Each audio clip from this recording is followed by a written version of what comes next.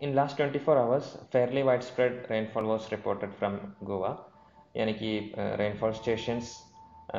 75 percentage और higher number of rainfall stations rainfall measuring stations reported rainfall और उसमें सबसे ज़्यादा रेनफॉल रिपोर्ट किया गया कानकौन से एटीन 18 मिलीमीटर रेनफॉल रिपोर्ट किया गया uh, वो कि मॉडरेट रेनफॉल में आता है और बाकी सारे स्टेशनों से अराउंड वन सेंटीमीटर और लेसर दैन दैट रिपोर्ट किया गया। और आज के दिन में अगर हम टेंथ अक्टूबर का post monsoon state average seasonal rainfall देखेंगे it is around hundred and fifteen percentage higher than the normal value normal value up to tenth October for post monsoon seasonal rainfall is 82 यानी कि around 83 millimetres और actual है 178 millimetres अभी monsoon withdrawal के बारे में discuss करेंगे तो मानसून विड्रॉवल जो है up to monsoon withdrawal line जो है वो पास हो रहा है Gujarat Madhya Pradesh some parts of Bihar तो up to that monsoon withdrawal has taken place as you can see in this image in two days is very likely to take place from uh, some more parts of Gujarat, most parts of uh, Madhya Pradesh, Bihar, some parts of Chhattisgarh, and uh, some parts of Maharashtra, Orissa, and West Bengal. That is in the coming two days. आज के दिन का अगर significant weather system देखेंगे तो there is circulation over Andaman sea तो Andaman sea के ऊपर एक लो प्रेशर एरिया बनेगा विद इन कमिंग 36 आवर्स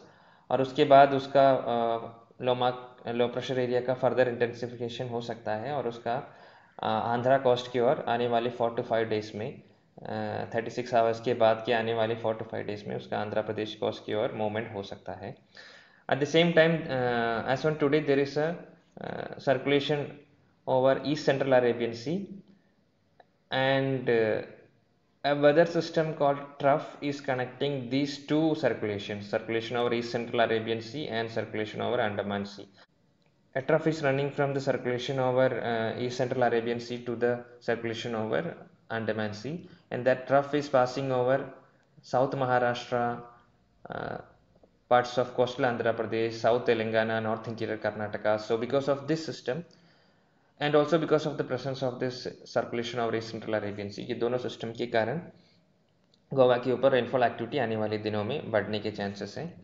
और हेवी रेनफॉल यानी कि rainfall exceeding 6.4 centimetres in 24 hours वो पॉसिबल है नॉर्थ एंड साउथ गोवा के ऊपर एक से दो स्थानों पे। दोनों डिस्ट्रिक्ट के ऊपर आने वाले तीन दिनों में tenth eleventh and twelfth October there is possibility of heavy rainfall at, at one or two places over both north and south Goa districts. Uh, and uh, rainfall will be accompanied with uh, thunder and lightning and there is possibility of thunderstorm accompanied with lightning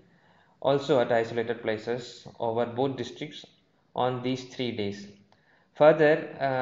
when like we just discussed there is possibility of a, a low pressure area to form over bay of bengal and its westward movement. So accordingly there could be uh, changes in weather